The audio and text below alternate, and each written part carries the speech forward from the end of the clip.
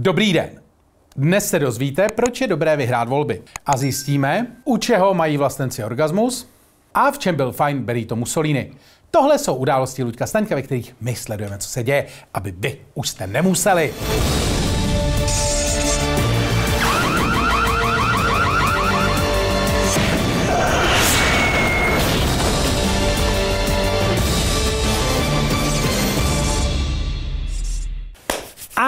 Máme tu takový neúplně krátký přehled krátkých zpráv. Tolik výluk naraz už nebude. Teď už bude na dráze jen líp, slibuje šéf zprávy železnic Svoboda. Ano, šéf zprávy železnic tvrdí, že už je to všechno dobré. Nejsme si jisti, jestli citace vznikla ze skutečného rozhovoru, nebo někdo ukořistil jeho dopis adresovaný Ježíškovi. A ještě, než se nad tím citátem zadusíte vlastním smíchem, počkejte vteřinku.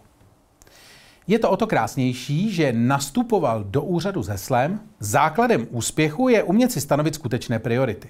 Mimo jiné také slíbil, že pošta začne chodit včas, zemědělci si už nebudou stěžovat a lidé na sebe odteď už budou jen hodní. Na pracovištích bude moci být chladněji než do posud.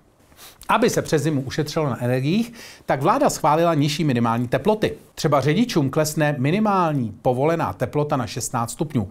V šatnách to bude 18 a na záchodech dokonce 15 stupňů. Snad už se to moc snižovat nebude, jinak nám tu práci místo Ukrajinců začnou přebírat tučňáci. Nová opatření ale samozřejmě zasáhnou i kanceláře. Aby tam bylo co nejchladněji, tak se omezí small talk a nikdo se nebude nikoho ptát, jak se měl o víkendu. Test planetární obrany. Sonda NASA zasáhla asteroid. Tak tohle od Američanů není moc hezké. Musí tady machrovat, jak jsou schopni zasáhnout asteroid 11 milionů kilometrů daleko, zatímco pro Rusko je problém trefit cokoliv, co není metr vzdálená mateřská školka. NASA tak tvrdí, že už umí ochránit Zemi před podobným asteroidem, který vyhubil dinosaury. Což se bude strašně hodit, až tady tu nukleární pustinu zase ovládnou diplodokové. Včera jsme tady mluvili o volbách a o tom, jak je všichni zúčastnění vyhráli. A dnes si povíme, kdo prohrál. A ne, nemyslím tyhle lidi. Dříve známé pod označením nejsilnější levicová strana. Dnes jsou známí jako skupina Aquabel okresního významu.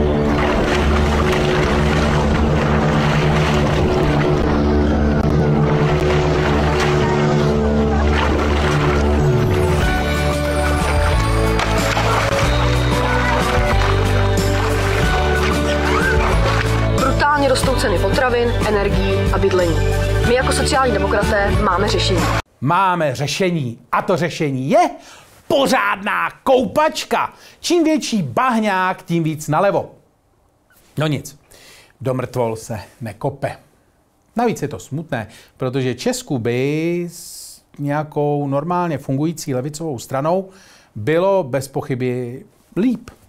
Ale pojďme si říct, eh, kdo ty volby doopravdy prohrál. My všichni. Už proto, že jedny volby skončily a další nás čekají už za týden. Hurá! Pojďme si ještě jednou pro nášup. A u té příležitosti se můžeme podívat, kdo se vlastně do druhého kola senátních voleb dostal. A není to hezký pohled, třeba takové Kroměřížsko. Potíž je hlavně s druhým místem. Paní advokátka Hamplová má ráda české vlajky. Proto nepřekvapí, že má ve zvyku agitovat na demonstracích, jako byla ta ze začátku září. Vzpomínáte? Jak se všichni zúčastnění předháněli v tom, kam by nejraději vlezli Vladimíru Putinovi? Ano, paní Jana není výjimkou. Ale co mě opravdu zaráží, je hnutí ANO. To už je dnes poměrně etablovaná strana.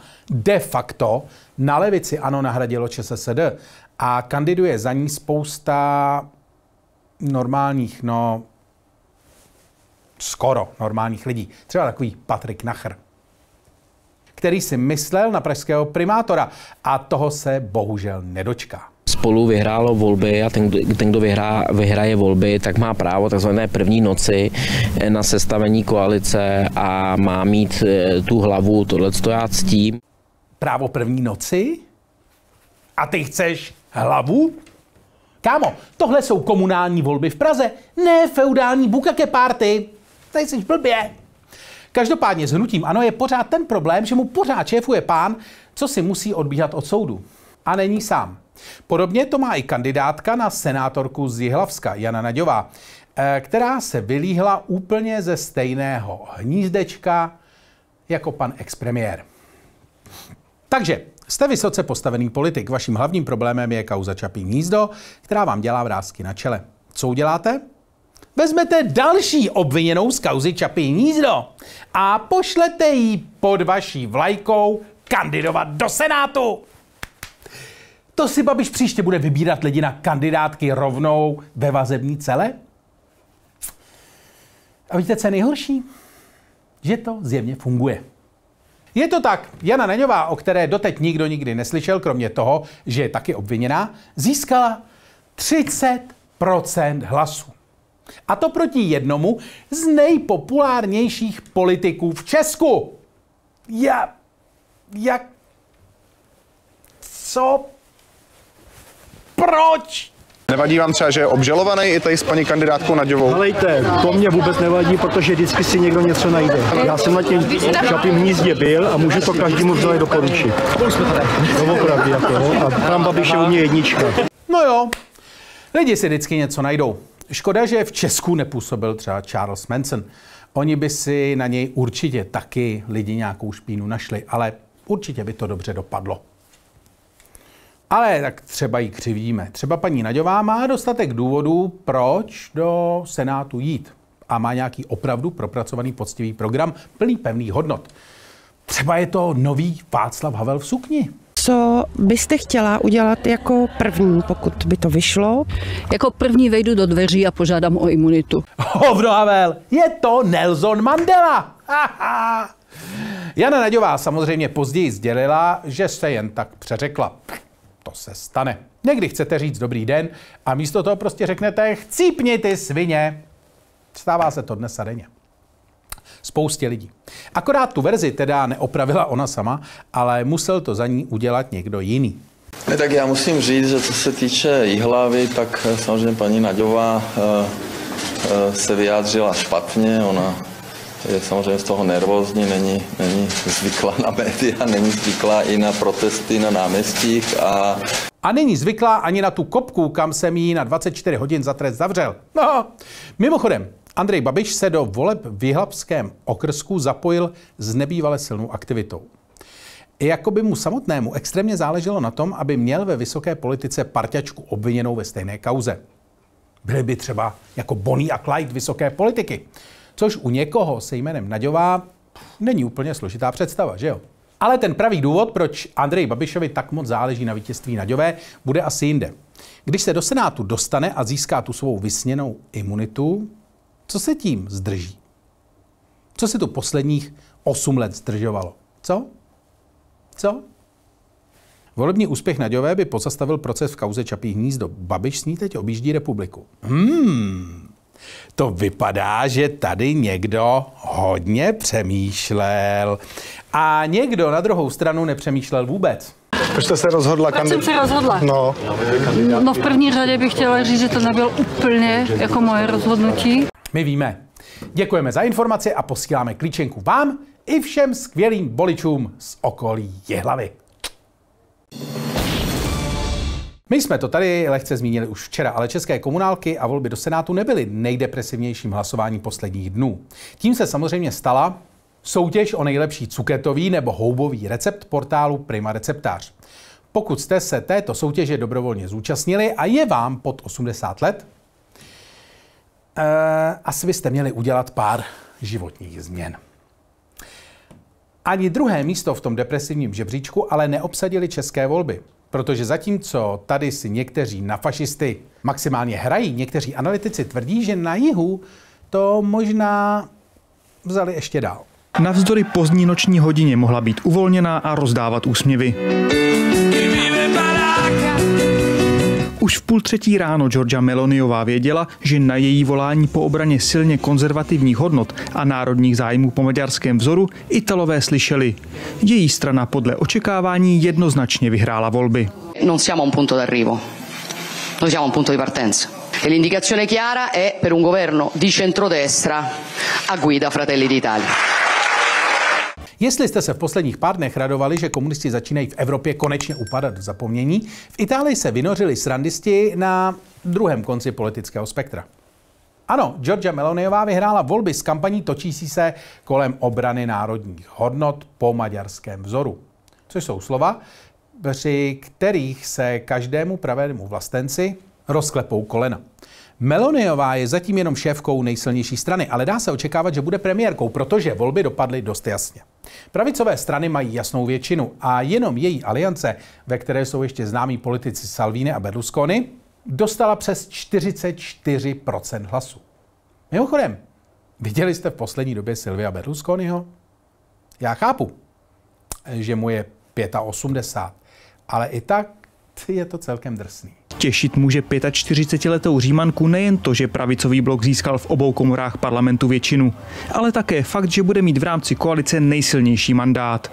Znova, já vím, že už frajer má svoje roky, ale tím spíš by neměl vypadat jako poničená výstava v Madame Tissot. Každopádně Georgia Meloniová vede uskupení Bratři Itálie, které v roce 2012 sama založila. A tahle strana sebe samotnou označuje jako pravicovou, konzervativní a nacionalistickou. Což jsou všechno naprosto relevantní a normální politické pozice. Ale už jsme tady několikrát zmínili slovo fašismus, což uznávám, může znít dost drsně. Ale nejsme jediní. Její background, její minulost a minulost její strany je naprosto jasná. Vychází z, z postfašistického hnutí, um, sociální hnutí, italské hnutí a je to vidět i v symbolu, ten plamen odkazuje právě na tu stranu. To, že tahle strana má silné fašistické kořeny, je v podstatě fakt. I ty slušivé plamínky, které má ve znaku, jsou záměrná kopie poválečných italských neofašistů. Oni jsou celkově Meloniová a její strana až podivně fascinovaní fašistickým vůdcem Benitem Mussolini. Šéfka strany v 90. třeba řekla, že Mussolini byl největší státník, kterého Itálie ve 20. století měla. Což je asi pravda, ale musíme to zdůrazňovat. Existuje důvod, proč se třeba v Německu podobné ankety moc nedělají. Těch odkazů je ale víc. Vezměte si třeba jejich stranické moto, tedy Bůh, vlast a rodina, což jsou schorokolský názvy traktorů Mariana Jurečky. Kromě toho, to je ale taky italské fašistické heslo. A co si budeme povídat? Existuje spousta debilních sloganů, které si mohli vybrat místo toho. Ano, bude líp. Kolik klasů, tolik hlasů? Nebo volte přísahu. Všechno jsou to pitomá, ale nefašistická hesla. Ale ne, oni si prostě museli vybrat to, které odkazuje na vraždění členů opozice. Hm. Ale na druhou stranu, kdo z nás nikdy necitoval fašistického diktátora? Hm? Sám si pamatuju, když jsem si v trafice koupil poslední ajkosky, eh, otočil se na naštvané lidi za mnou a do ksichtu jim zařval, je lepší žít jeden den jako lev, než sto let jako ovce. Navíc lidí s ne tak fantastickou politickou minulostí je v tom hnutí víc. Říká, že to už je dávno pase a že to současná Itálie je o něčem jiném. Nicméně v každém případě v jejím nejbližším okolí je spousta, stále spousta politiků i blízkých spolupracovníků, eh, kteří skutečně se odkazují k těm historickým eh, událostem, kteří stále eh, mají v oblibě nebo vypichují některé body z Mussoliniho politiky a rádi by v nich pokračovali.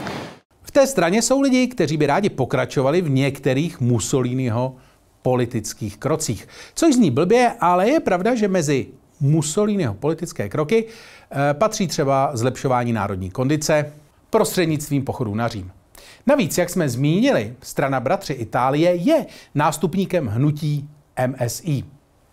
A to vedl člověk, který vydával časopis jménem Na ochranu rasy. A pokud to teda nebyl magazín o zodpovědném šlechtění kokršpanělů, tak To nezní moc dobře. Tohle všechno celkově může působit extremisticky a zastarale. Než si člověk vzpomene, že na pražského primátora kandidovali lidi, kteří chtěli chránit proletariát. Ale nebojte se, pokud příští rok jedete do Bibione, tak zatím kromě lehátka a dobré nálady arijský původ nepotřebujete. Meloniová totiž všechny uklidňuje, že její fašistické mládí už je pryč. A teď už je to všechno naprosto na pohodu. Podle vlastního vyjádření je tak v klidu, že kdyby byla v USA, tak je republikánkou. Což je super, protože současná republikánská strana ve Spojených státech je v podstatě hnutím lízátek pro všechny a potratů pro nikoho. A potratů pro nikoho. Což je mimochodem názor, se kterým Meloniová souzní. Je totiž zásadně proti interrupcím nebo posílení práv sexuálních menšin. Což není moc originální, protože na tyhle názory už v Římě jednu hlavu státu mají. Ale to rozhodně neznamená, že by kvůli pochybné minulosti světoví nebo čeští státníci najednou Itálii ignorovali. Spíš naopak, prvního gratulujícího asi není těžké uhodnout. Tomio Okamura. V Itálii ve volbách zvítězili vlastenci, i když Italům Evropská unie vyhrožovala. To se dalo čekat. Když Okamura vidí slova pravice a vítězství v jedné větě, tak automaticky hodí na Facebook, že se jedná o další krok k rozpadu EU. Ten, kdo z gratulací ale přicupital poměrně rychle, už může být překvapivější. Gratuluji Georgi Melonejové k jejímu vítězství v italských volbách. Těším se na budoucí spolupráci při evropské politice a v rámci evropských konzervativců. Tak, ono to ale zas tak divné není. Tohle je totiž ten stejný Twitterový účet, který si chválil Trumpa. Tak uvidíme, jak to v Itálii bude vypadat. Posun výrazně doprava je asi jasný. Ale třeba Ukrajinu Meloniová na rozdíl od Orbána dlouho podporovala. Jenom ty rozhovory by mohla dávat trošku klidnější.